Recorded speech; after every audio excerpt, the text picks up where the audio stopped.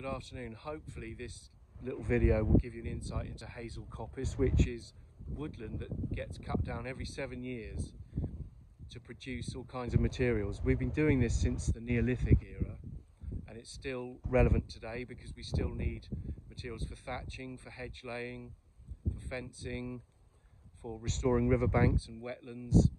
So it's really important to keep this going. It's also important to me that it's not reliant on grants because that's just at the whim of politicians.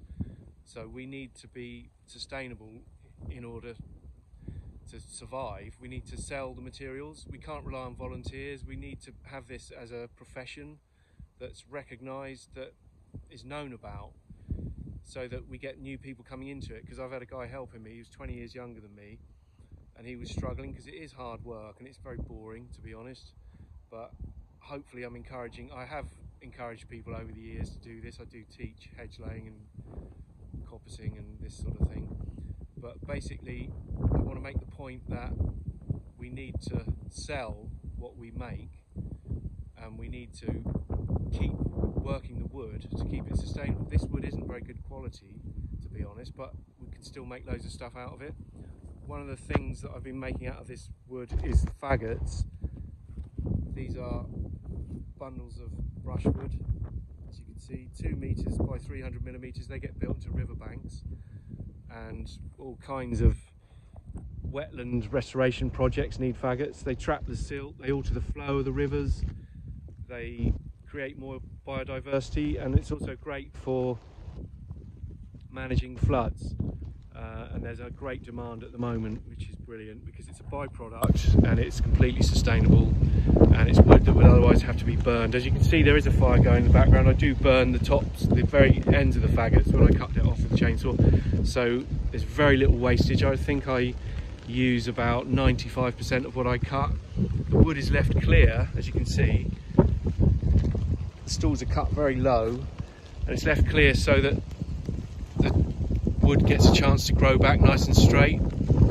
Um, any brambles aren't great because they will smother the new growth. So they get cut about after about two years or so by the woodman which is brilliant. So the idea is to keep the woods going and keep it sustainable. These woods have been surveyed by ecologists. There are butterflies in here that you don't get anywhere else in Britain basically. David Attenborough's been to have a look around these woods years ago, so that tells you how important they are for biodiversity. And to me, the most important thing is that we keep doing this and we teach people about it because if we didn't manage these woodlands, they would grow dark and you wouldn't get the same ground flora, you wouldn't get the same insects, you wouldn't get the same wildlife that rely on all of that. Um, and so many of our woodlands have been neglected and they've gone dark and they're no longer commercially viable. So then grants have to be used to get it back into rotation. But it's not as simple as that because when the woods grow again after they've been left overstood, the wood doesn't grow back to the same quality and it takes a few rotations of cutting to get the materials that you need. And this is the important thing to make it commercially viable people have got to make money out of it and you can't rely on grants. So I think it's really important that people know this and they know that coppicing is a way to make a living. It's hard work and it is boring and monotonous, but what a fantastic place to work. Even though it's just raining and there's hailstones coming in right now, it's still a good place to be. I hope you learned something and thanks for watching.